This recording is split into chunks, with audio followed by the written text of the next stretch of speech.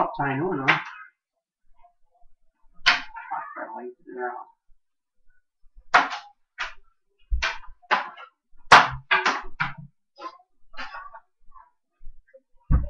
Oh, one. Ingen got.